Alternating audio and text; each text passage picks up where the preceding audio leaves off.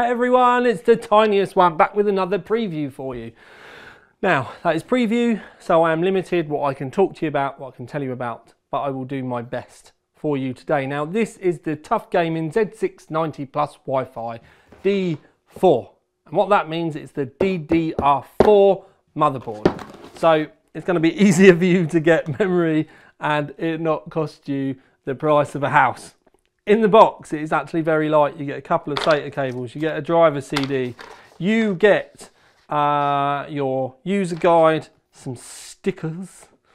I'm trying to see if there's a point for where it could go, but I'm, i was just wondering whether this could easily go somewhere on that. I think in reality, Asus, there's a sticker here. I think they probably could have made one to have gone over that and had a few different options up here. Anyway, you do get some other screws in the box for doing your M.2s and stuff like that. Now, what I do need to tell you right from the get-go, because I've now forgotten, so I need to go and read it from a screen, is there is a 14 plus 1 amp uh, power phase array around the outside. And they're 80 amp DrMOS each.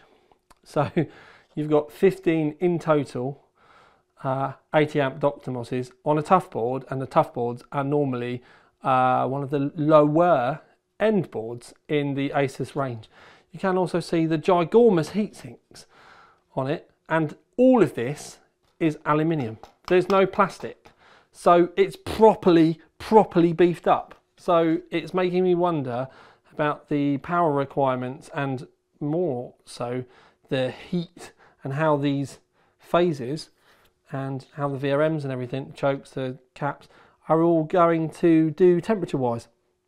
So lots of information for you to think about there and for me to test later because there will be a full review obviously with DDR4 so it's going to make things kind of interesting for me as well. Up the top 4 pin 8 pin power, couple of CPU headers here, 4 pin RGB, addressable RGB.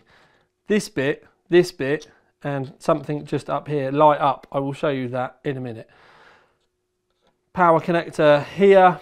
You can see the light poster readout here. You've got CPU at the top, then DRAM, then VGA, and then boot. Those light up during the post phase, and if it hangs on one and stops, then you know what's wrong. So if it stops on VGA and doesn't go any further than that, then you know you've got a graphics card problem somewhere. Anyway, don't want to uh, teach you how to suck eggs. USB 3 uh, vertical one there, couple of SATAs here, which straight away you're like, only two? There's a couple of vertical ones here. So it's, yeah, it's because it's a lower end board.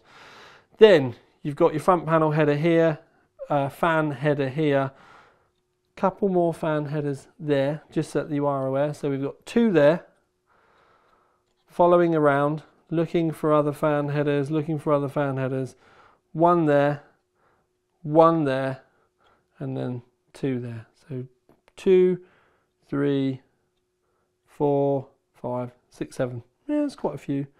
Yeah, they are all fan headers as well. None of them are dedicated water pump headers, but if you do need it for a water pump, then uh, what you can do is just turn it on to maximum and then you're away.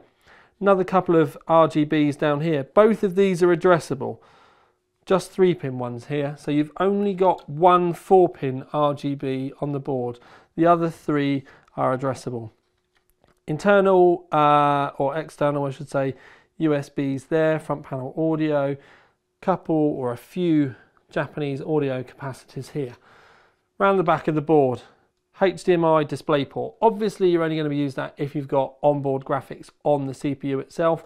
Don't really need to use those if you've got a graphics card plugged in here because you would plug your monitor in those. Again, teaching you how to suck eggs. You can see the connectors running outside. C's, some USB 3, USB 3.2 Gen 2, 2.5 gig Ethernet. Don't forget you're going to need uh, supporting um, routers and stuff if you need that, or supporting switches if you're going to be trying to use utilize 2.5 gig more than the normal uh, gigabit Ethernet that we would have around the home with, with um, switches and routers and stuff. A lot of the Asus uh, routers now do feature 2.5 gigabit Ethernet ports on them. Uh, Type C, again down here, Wi-Fi, and then your coloured audio ports around the outside. Now one of the things I can do is because I took photos of this for the website, I can show you the board without the NVMe heat sinks on and you can see that there is one that doesn't have a heatsink on the whole time. That might be good for those of you out there with an NVMe drive with a massive heatsink on it and you want to keep and utilize it rather than using the, the board's ones. But that's obviously that one. And then the other ones around the outside have got the uh, standard heat sinks on. The other thing that I said I can do to show you is show you the RGB that comes on on the board because I have a magic cable which kind of powers the board up without powering the board up because Intel won't let me show you a full system. I'm not allowed to show you a powered system, but it's not a system because it's not got a CPU in it. So it's just me showing you the RGBs. It's very slight. It's very minimal.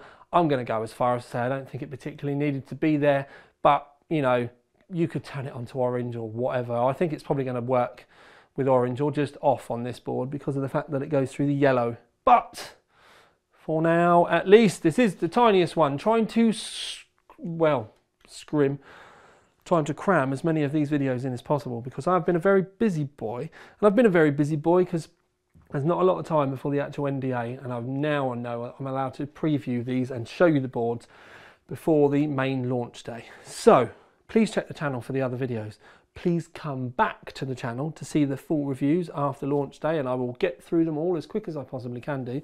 But for now, Internet Cookie, if you got to the end, thank you very much for tuning in. This has been the tiniest one with another video for you. Out.